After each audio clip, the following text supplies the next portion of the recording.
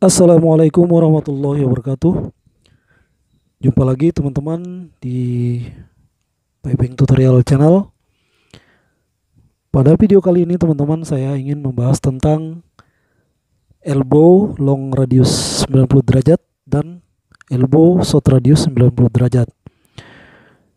Sesuai dengan permintaan teman-teman untuk minta dibuatkan videonya khusus untuk membahas tentang long radius dan short radius. Oke lah teman-teman, ini saya akan menjelaskannya satu persatu. Ada contoh gambar di sini yaitu long radius 90 derajat dan short radius 90 derajat. Antara long radius 90 derajat short dan short radius 90 derajat Sebetulnya modelnya sama aja teman-teman. Namun yang berbeda adalah radiusnya. Radius itu adalah dari center line ini ke center line elbow. Itu yang dinamakan radius.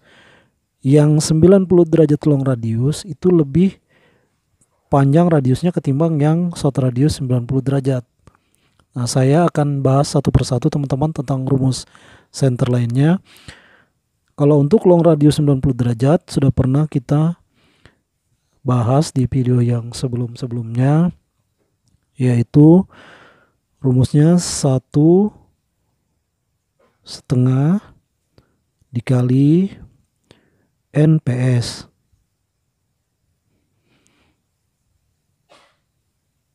ini adalah rumus mencari center line elbow 90 derajat long radius Oke.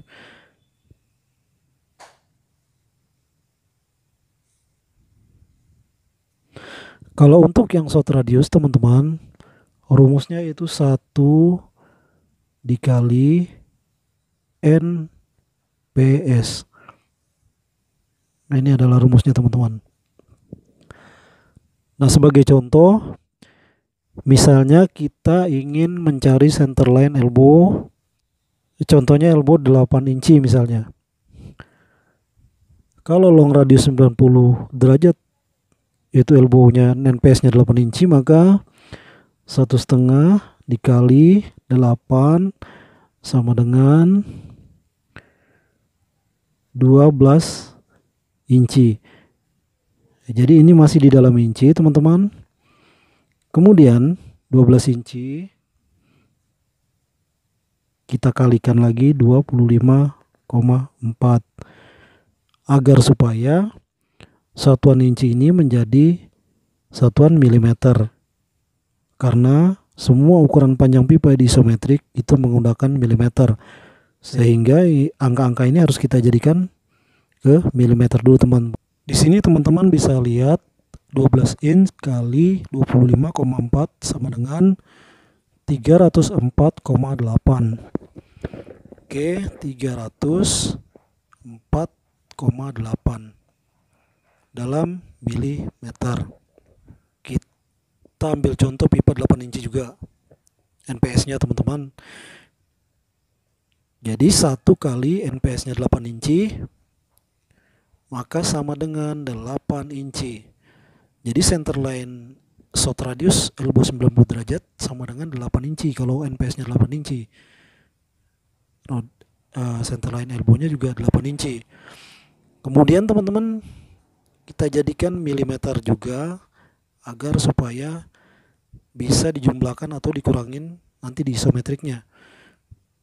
25,4 hasilnya adalah teman-teman bisa lihat 8 kali 25,4 sama dengan 203,2 Oke teman-teman, saya kira sudah cukup saya jelaskan tentang cara mencari long radius elbow 90 dan short radius elbow 90. Bedanya hanya ini saja teman-teman. Kalau untuk yang long radius satu setengah kali NPS dan short radius satu kali NPS. Demikian, mudah-mudahan bisa difahami dan di video selanjutnya teman-teman saya akan uh, membahas juga tentang long radius dan short radius ini. Namun untuk yang elbow 45 derajat. Mudah-mudahan ini bisa bermanfaat bagi teman-teman yang request juga. Uh, saya kira bisa dipahami rumus-rumus ini dan insya Allah akan berguna sekali untuk teman-teman di lapangan mohon maaf atas segala kekurangan teman-teman. Dan saya ucapkan assalamualaikum warahmatullahi wabarakatuh